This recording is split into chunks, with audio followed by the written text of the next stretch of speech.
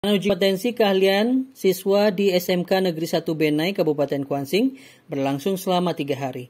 Uji kompetensi merupakan hal yang mutlak dimiliki oleh siswa SMK karena akan menjadi bekal menghadapi dunia kerja. Kepala SMK Negeri 1 Benai Kusnadi mengatakan, pada pelaksanaan uji kompetensi ini sekolah mendatangkan penguji dari luar, seperti dari perusahaan ataupun dunia usaha serta industri. Penguji yang diundang sebanyak empat orang yang berasal dari Pekanbaru dan dari Teluk Kuantan. SMK Negeri 1 Benai pada hari ini sedang melaksanakan kegiatan UKK uji kompetensi keahlian.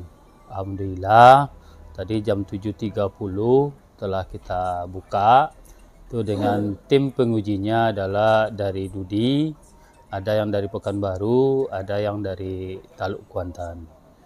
Adapun kegiatan UKK ini sebagaimana dari program uh, pendidikan SMK nasional yaitu uh, supaya anak-anak kita memang teruji kompetensinya uh, dalam melaksanakan itu maka diadakanlah dengan UKK ini. Dan kita berharap kegiatan ini uh, berjalan lancar aman sampai selesai. Insya Allah kita akan melaksanakan UKK ini uh, tiga hari.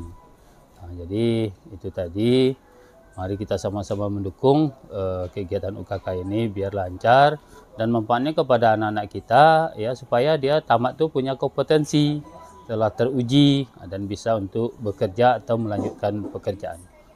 Jumlah siswa yang mengikuti uji kompetensi di SMK ini sebanyak 200 siswa lebih, terbagi dalam empat jurusan, yakni jurusan akuntansi, jurusan teknik komputer dan jaringan, jurusan pemasaran, serta jurusan desain komunikasi visual.